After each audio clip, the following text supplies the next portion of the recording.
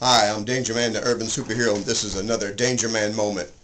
Uh, prayers and thoughts go out to um, the family, to NYPD, and to uh, the family of uh, Officer Brian Moore, uh, NYPD officer, 25 years old, um, who was uh, who died today of being shot by um, a suspect. Um, um, him and his partner, I guess, were in their unmarked vehicle and they saw a, a gentleman going down the street who was African American, uh, Demetrius Blackwell, who was a criminal. I mean, really a criminal. He'd been eight years for attempted murder, and really was a bad guy.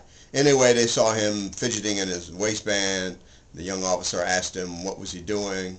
He pulled out his gun and shot this officer in the face. He shot him like three times. So uh, it's a very sad case. They said this this young officer is arrested, had 150 arrests. So Chief Bratton said that uh, he was uh, he's gotten a, a, number of different awards, and he was a top cop, you know, um, and he comes from a family of cops. So. Um, uh, so my prayers and thoughts go out to him and his family and to NYPD because you know we don't want to shoot cops. We first, we don't want the cops shooting our, our boys and African American men, but we don't want to shoot shoot the cops. Okay, we don't need this anarchy. This is supposed to be America.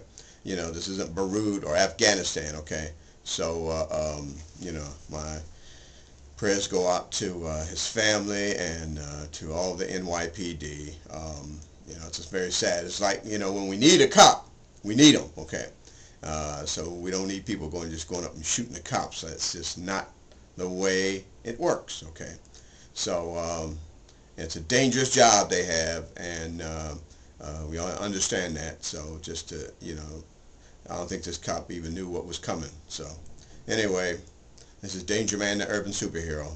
And this, my friends, is another Danger Man moment.